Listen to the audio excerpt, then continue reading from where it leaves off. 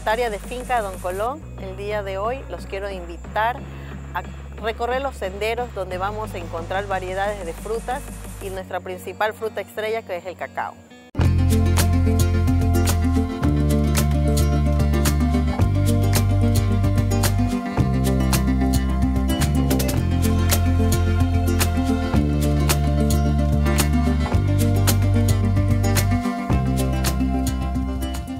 Este es el injerto, pero del cacao nacional mismo. Entonces el injerto es el que está cosechando hoy en día, ¿no?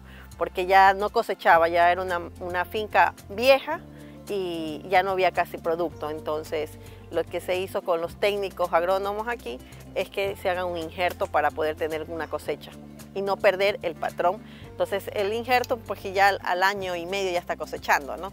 Entonces, a diferencia de una mata que te dura cinco años siquiera para cosechar. Tenemos bastante ardillas aquí. Para nosotros son plagas, porque se come casi el 50% del cacao. Sí.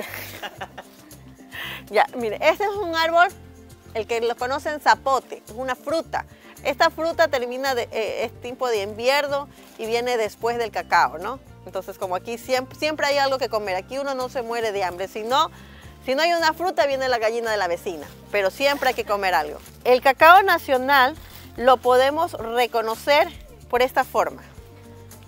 Si le ve la puntita, ¿ya? Esta puntita, aquí los montubios le decimos que es teta de niña, seno de niña como le decimos, porque es como un seno así de, la niña, tiene la forma. Entonces así lo reconoce el cacao nacional. Ya vamos a conseguirle un C51 y pueden ver, el C51 es alargado, y así delgado, la mazorca, y es color. Esa, y ese es color vino, más o menos, el C51. Pero el cacao nacional lo puedes reconocer por la puntita de esa forma. Es, y el color, no, porque también tenemos color vino también el cacao nacional. De esa forma lo puedes identificar la mazorca. Tienen esta puntita, esta forma, esta la puntita, como un seno de una niña. Tenemos la mata de toronja, toronja blanca, la que está aquí a la izquierda. Aquí a la izquierda, esa es la toronja blanca. Ya está comenzando, ya está comenzando, eh, su temporada en esta época de producción. Aquí a la derecha tenemos los árboles de verde, los árboles de plátano. Estos árboles, para poder cosechar, para, para que esté ya al consumo de nosotros, demoran de 9 a un año. Y solo, sí, eso es verde. Y solo una sola producción tiene y muere. Entonces, como ustedes ven, el tallo que está, por ejemplo, ahí virado, solamente está virado, no se lo corta totalmente.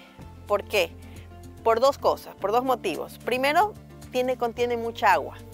Entonces, siempre va a estar alimentando al segundo árbol. Y segundo, no permite que se vira, porque como son tan sensibles, las, ramas, las raíces están encima, entonces si están solas se pueden virar por el peso.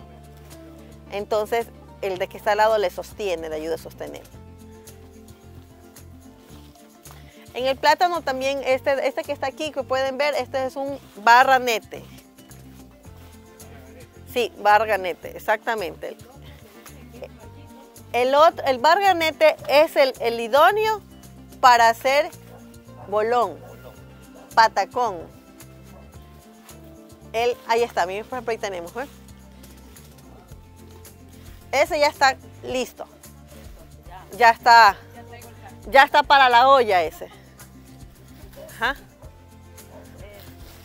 Plátano dominico es el adecuado para, para hacer caldo de bola, para hacer cazuela. El plátano, el blanco hay muy poco, pero ese es mucho más suave. Pero en cambio el blanco no es bueno para hacer este, las bolas de verde, es muy aguachento como le llamamos nosotros los montubios, muy aguachento, tiene mucha agua, entonces tiene sus ventajas y desventajas. Entonces ese sirve más para comerlos, para hacer los chifles, para hacer los patacones, porque son suaves. Esta es la prueba de las ardillas, las amigas de mi señora madre. Entre el cacao y el plátano más o menos hay unas 15 hectáreas entre los diferentes árboles frutales, pero no tenemos específicamente la única que hay pues, específicamente hay este, 5 hectáreas es pitahaya. Las demás hectáreas, prácticamente las otras 10 hectáreas están mezcladas entre diferentes árboles como el cacao, el plátano, mango, naranja, guava, papaya, limones. Es fácil de reconocer el cacao nacional por la puntita que tiene de seno de niña. Así los montuyos aquí la, nuestros, nuestros abuelos nos enseñó ese pequeño detalle de, cómo poder reconocer, de cómo poder reconocer el, el cacao nacional con, e, con, esa, con esta puntita. Todas así se van a percatar. Ustedes ya, ya, ya saben, ay, ese es nacional, no le van a engañar. Una plaga que ha caído prácticamente en, en todo el país, esta plaga, y, pero no podemos utilizar nada a más de cortarlo y sacarlo para que no contaminen las demás. Mira, este también, mire, este es un, un injerto, ¿ves? Este de aquí está, mira mi no me toques. Bueno, aquí vamos a hacer la paradita para poder desgustar el cacao. ¿Se han probado el cacao? ¿Se han probado por acá? Bueno, vamos a...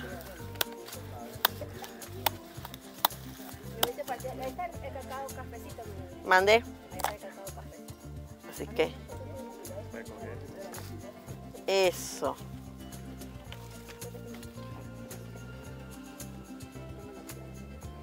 Aquí. Solo tienen que chuparla. ¿Y eso se come? Exactamente, se chupa nada más. Es entre dulce y termina como amarga la pepita. Y es lo que se comen, las, ardillas lo que se comen solamente es el, la babita, nada más. Nada más, claro, para que todos les guste. Ni siquiera se comen la almendra, dejan botada la almendra. No la pepa para que hagan chocolate en su casa por favor. Este cacao nacional, eh, luego de que está aquí, pues se lo pone a fermentar seis días. Luego de los seis días pasa a secarlo al sol. Por, depende de, la temperatura del sol, puede ser de dos o tres soles máximo. Y luego de eso, pues va a tostárselo muy lentamente por unos 40 minutos, entre 40 y 45 minutos máximo, pero muy lentamente tostarlo porque cuando se tuesta, esa cascarita que está ahí a lo pelado, esa cascarita sirve para hacer unas agüitas aromáticas a sabor a chocolate. Y luego la almendra se la muela. Entonces, para que también el chocolate no se haga amargo, por eso tiene que tener una, una lentitud en tostarlo, a, a llama muy lenta. Si ve este injerto que tiene esta es la mata vieja y el injerto justo le han puesto del color verde. Entonces, en una mata se puede injertar hasta 3, 4, cuatro diferentes ramas o diferentes colores. Entonces ahí le ven ese. Tratan siempre de, coger una, una, ramita bonita, ¿no? Por decirle, esta ramita de aquí. Tratan de, le llaman esto varilla. Eso le llaman varilla, entonces le, le cortan las ramas, las hojitas y le dejan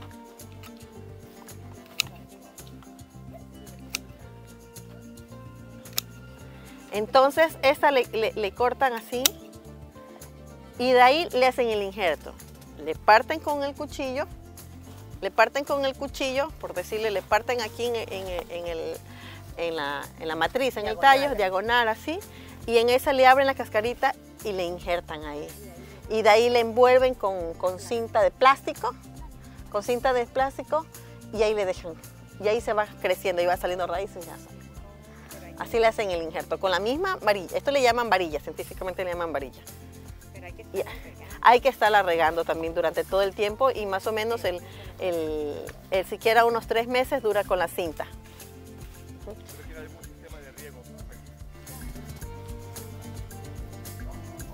Esta mata de mango es Tommy.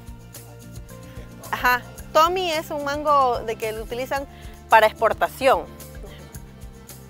Es un mango este, dulce, con mucha carne, mucha carne y, es un poco más duro para, para, durar, para, poder, para, para poder viajar sus 30 días para llegar a Europa, a otros países, ¿no? Entonces, Están allá arriba el Tommy, no hay mucho. Aquí abajo. Vamos a ver si acá hay otra. Acá está una mata.